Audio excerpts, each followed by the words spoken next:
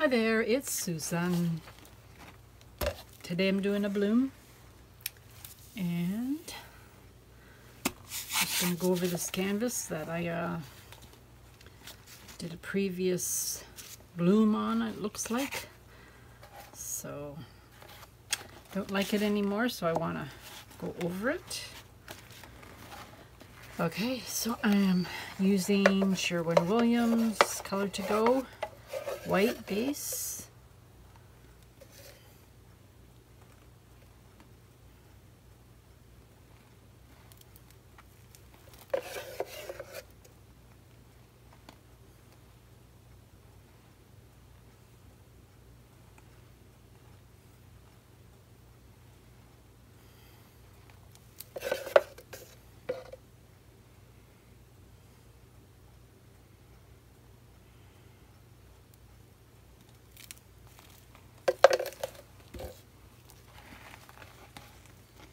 think enough. I'm not too sure. We'll see, we'll see, we'll see. I'm gonna pop a couple air bubbles.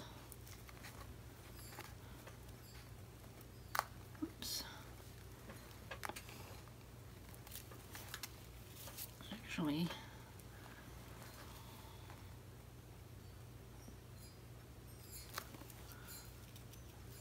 Thought I seen more than that, but no, that's it. So that looks good. Um, I'm just going to put a little bit on the corners in case I don't have enough paint to go over the edge. I think I do, but sometimes I can't tell.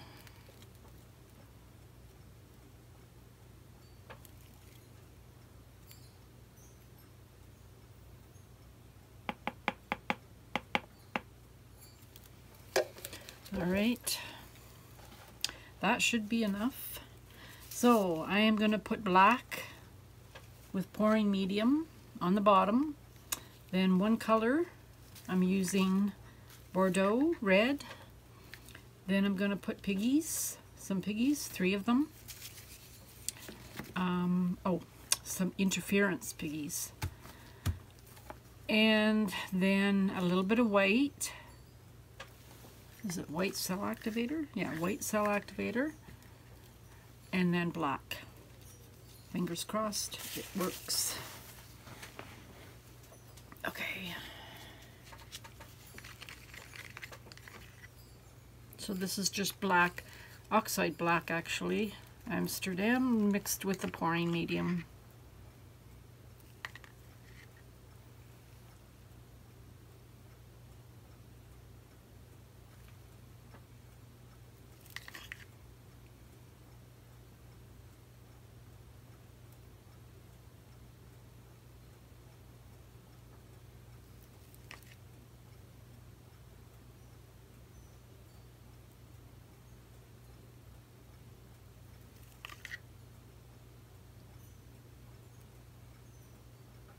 By using this much black on the bottom it's almost like I'm using black base. We'll see we'll see we'll see. See if it works. Okay so this is Arteza Bordeaux red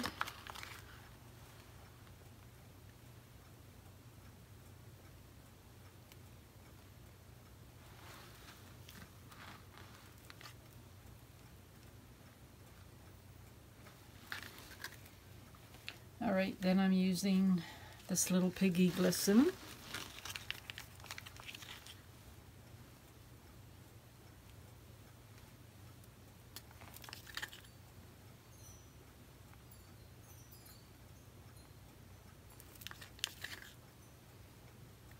I end up using it all.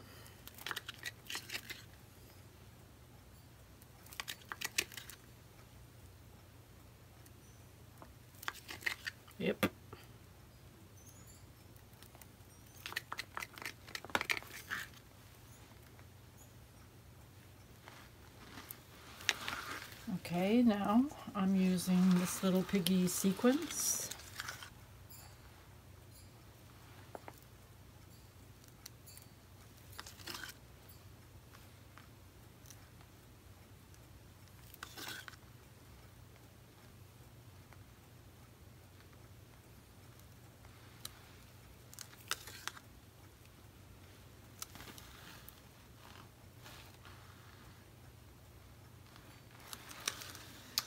And then this little piggy twinkle. These are interference colors.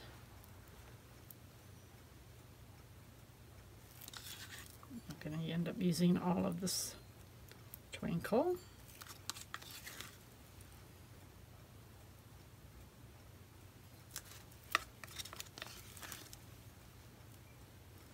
Okay, that's a lot of paint. All right, I'm gonna get ready for this. Air bubble. Whoops. Come on.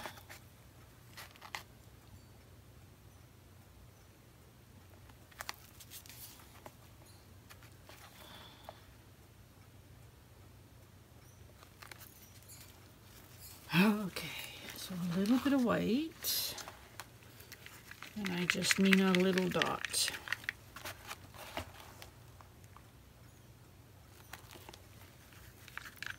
It's already looking pretty strange. Oops.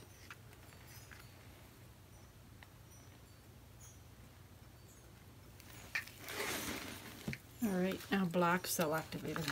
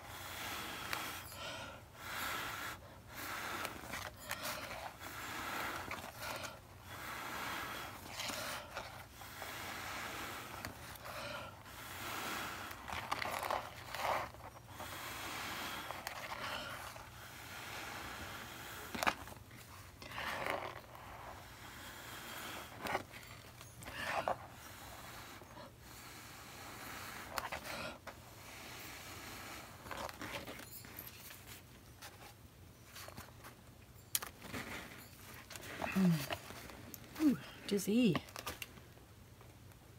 All right, it's still down a bit in the middle.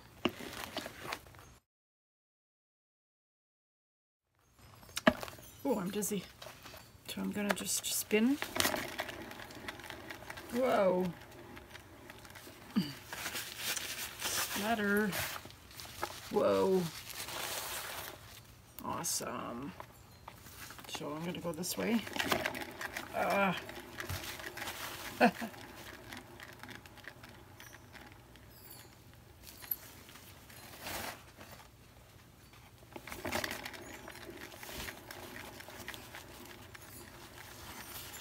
Splattered.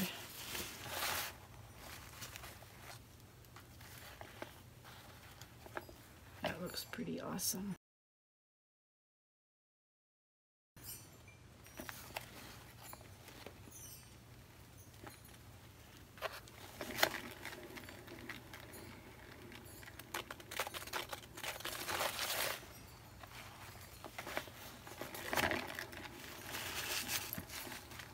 I want to get enough paint off, but I don't I don't want to lose a lot of this. Hmm. Um, I want to move this over this way or over this way to this corner. So I'm going to just move my canvas over a bit, just off off side of it, and then I'm going to spin it and it should, hopefully, it should knock that off and not this. I didn't expect that. It wasn't stuck. Oh no. Oh, what happened there? So I banged it. Which side do I want? All right. Okay, so Just putting it on the paint a little bit so it sticks. Oops.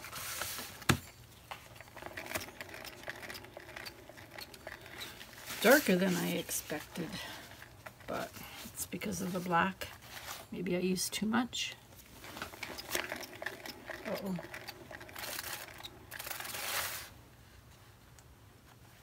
Yeah, it's working.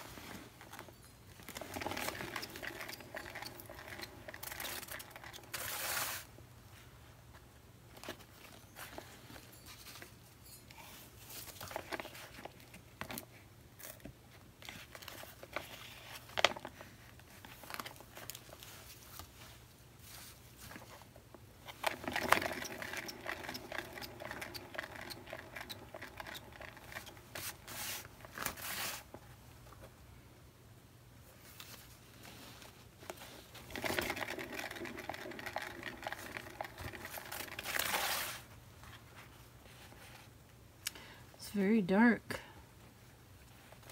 but I don't mind it. All right, so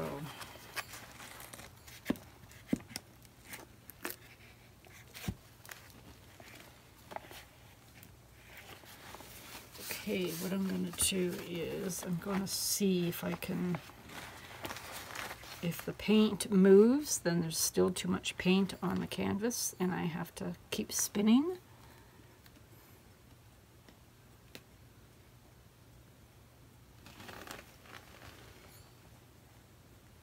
Don't really see it moving.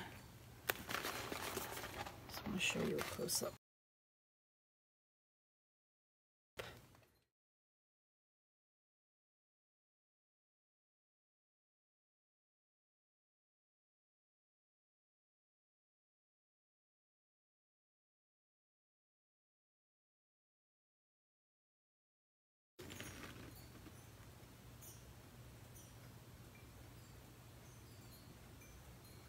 I don't think it's moving.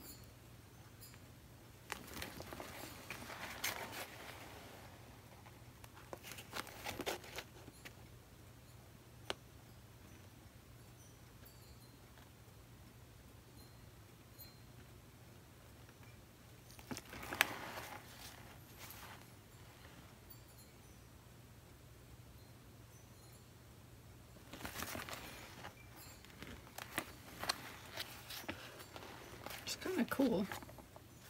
It's dark, got that much, but I like it.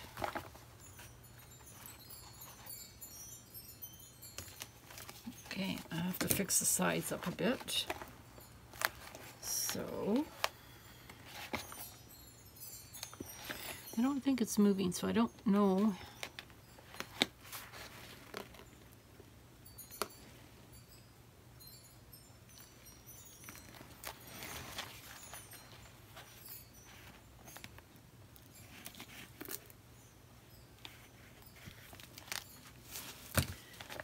just give it another spin. Just be on the safe side. Oh, Jesus. Ah. Well, that wasn't a good plan.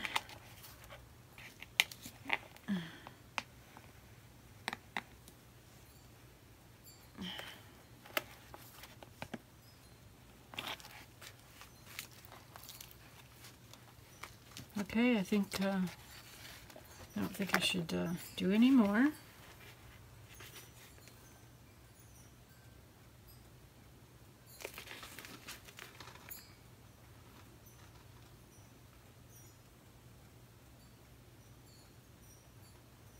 Oh, I don't think it's moving, so I am good to go.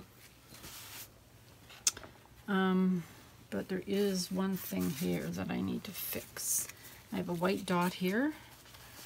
I'm going to try and get rid of it.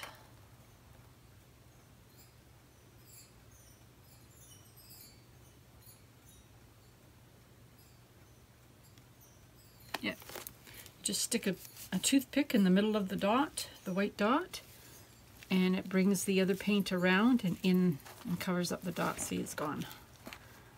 So, I will bring you down for a close-up.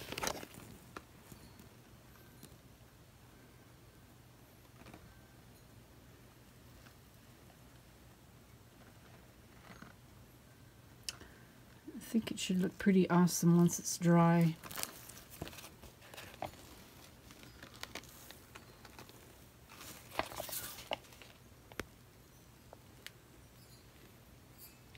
It's really hard to see the shining of the pigments in this light. Alright, I'll show you the dried results at the end of the video.